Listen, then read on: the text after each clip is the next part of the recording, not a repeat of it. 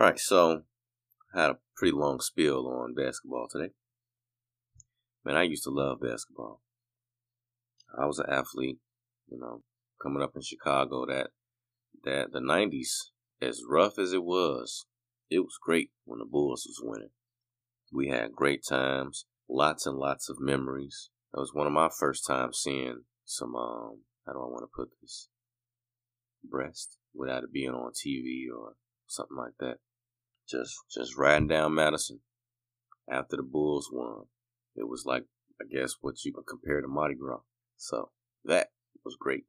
All right, so the next bit of entertainment while we're we're dealing with sports, Mike Tyson. Mike Tyson the Great. It's something about the name Mike, Michael, Michael Jordan, Michael Jackson, Mike Tyson. These are three greats at what they do. Wonder if it, I don't know. I always, I always looked at it and said, man, I wonder if that has something to do with Angel, just because they're all, in a sense, they're kind of like warriors. At least Mike, Michael Jordan, and Mike Tyson. Anyway, Mike Tyson, 53 years old. If you haven't seen it, go to YouTube. Just type in Mike Tyson. I'm back. He says he's back for boxing. He's got a few videos of him doing some training. Again, 53 years old. Man, Mike looks dangerous. Mike looks like he'll hurt somebody real bad. Really fast still, quick, nasty, nasty power. So, is he back? Is he actually going to fight someone in the ring?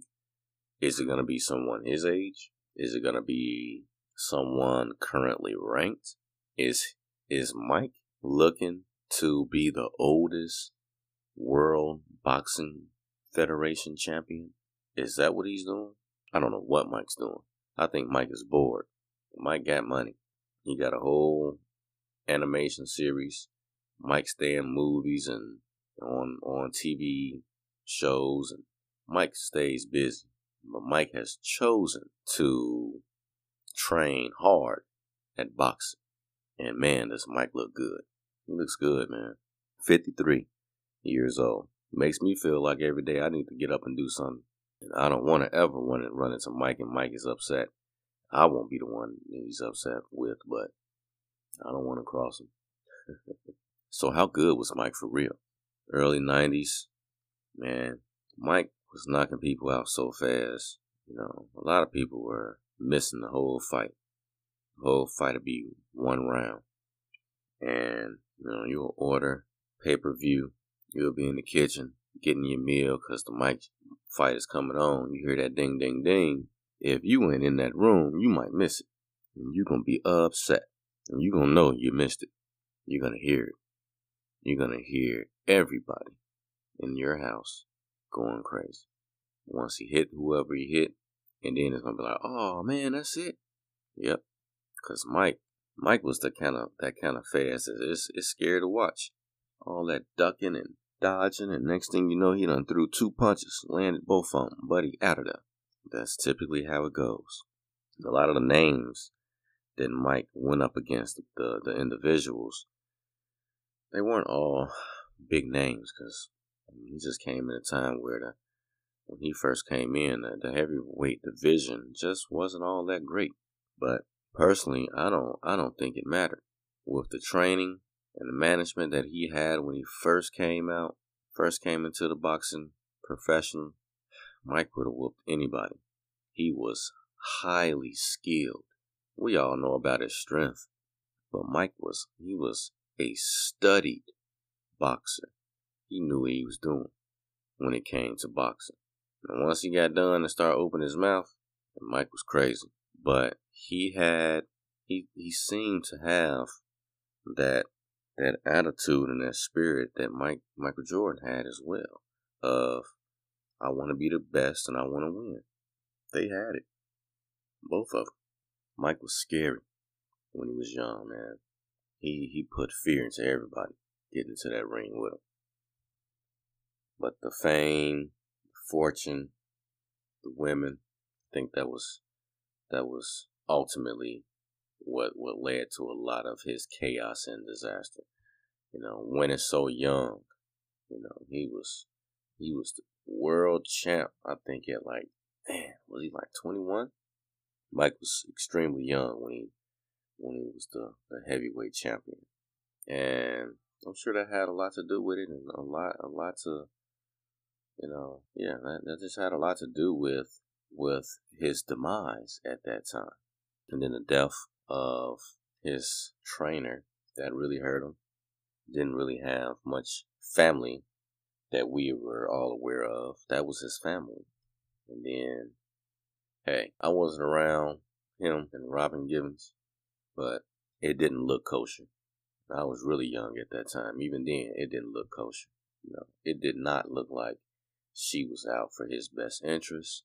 It did not look like she wanted what was best for him from from the way outside looking in but that's what it looked like. Um, it didn't it didn't come across as one of those relationships where, you know, hey, you got who got your back? I got your back. Didn't look like that at all. I think it's pretty safe to say that he had a lot going on mentally that that helped destroy that time for him. And we know overall that he's a great person because we've seen him bring himself back from all of that even when he first came back and he had those couple of fights and Biddy Vander, Holyfield, all of that craziness.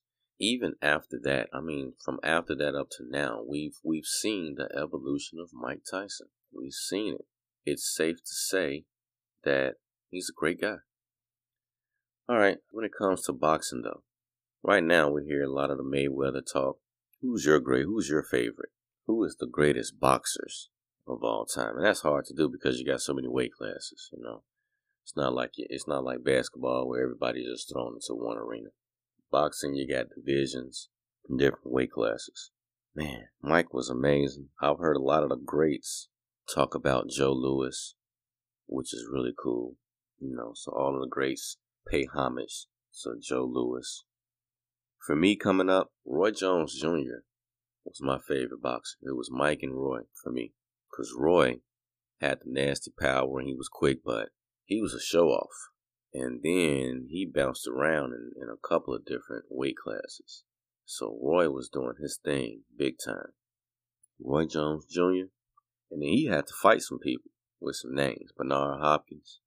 Those lower weight classes, they had they had more to offer, it seems like. I don't know where boxing is going now, because now it's it's everything is is moving and going towards mixed martial arts, UFC. That's what everybody wants to see. Some of the greatest boxers I've I've seen myself: Bernard Hopkins, Roy Jones Jr., Oscar De La Hoya. He was the man. Pernell Whitaker, George Foreman. I didn't I didn't get to see George live when he was young, but I, you know, I seen some tape.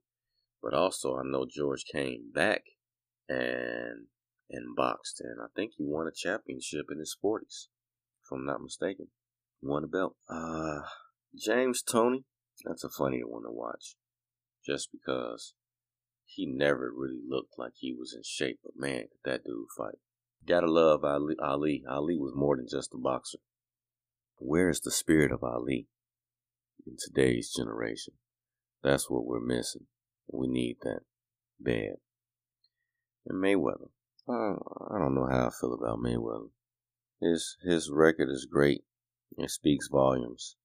But just felt like he never I don't know. I don't know.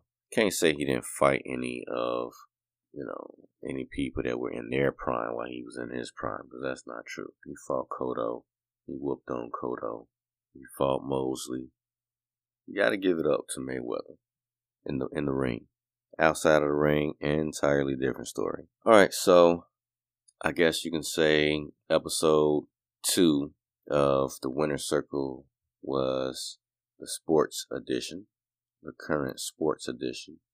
Any um, suggestions, ideas, questions, topics, please um, holler at me. Let me know what's on your mind. These will get better and better as I go. I'm going to work at it.